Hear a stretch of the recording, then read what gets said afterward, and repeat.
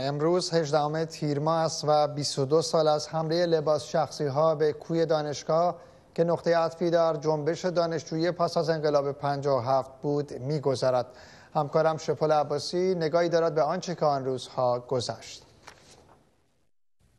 18 تیر ماه 78 دو سال پس از روی کار آمدن دولت خاتمی و بالا رفتن سطح مطالبات عمومی و سخن گفتن از تغییر ساختار سیاسی ایران به ویژه در دانشگاه ها موضوعی روزانه بود و جنبش متحد دانشجویی با روی کردی گریز از مرکز در نشریه خود با عنوان هویت خیش خواستار جمهوری آزاد و دموکراتیک در ایران شد.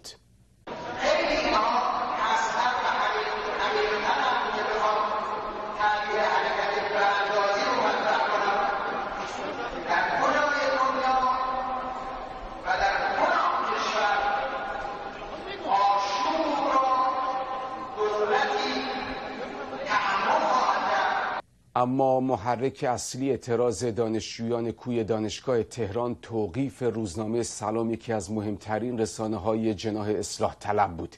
سعید امامی از مقامات ارشد وزارت اطلاعات که همه نامش را به عنوان آمر و عامل در قطرهای زنجیره‌ای می‌شناسند طرح اصلاح قانون مطبوعات را داده بود.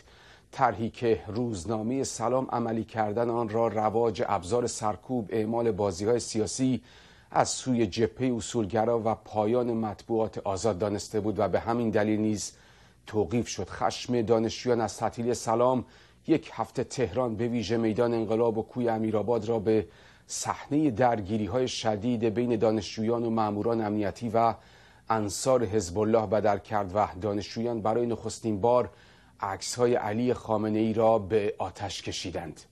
اگر عکس مرا هم آتش زدن پاره کردن.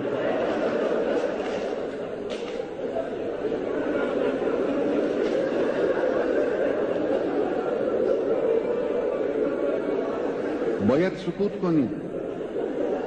نیروتون را حفظ کنید. برای اون روزی که کشور به اون نیازمند است.